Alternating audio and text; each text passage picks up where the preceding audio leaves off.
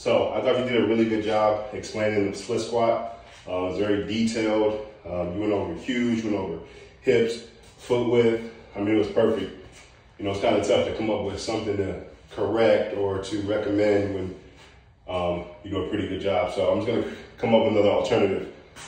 Um, I think one thing you can do, and you don't see a lot of people do it too much, but it's something that I've I've done. I've incorporated in my programming sometimes is when we do split squats or any type of lunge movement. Instead of typically, you know, we're taught heels in the ground, press for our heels. Okay, so an alternative, go ahead and go to the ball of your foot. Why? Because we change direction, we sprint, we jump off the ball of our foot, essentially.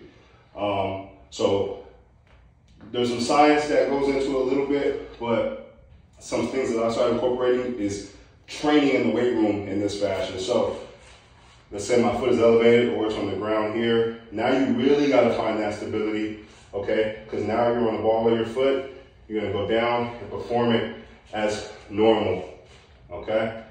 So you're gonna go down, knee doesn't gotta hit the ground, maybe about two, three inches from the ground. All right, but just keep that heel off the ground and put a lot of force on the ball of that foot, which is gonna really tax your quads.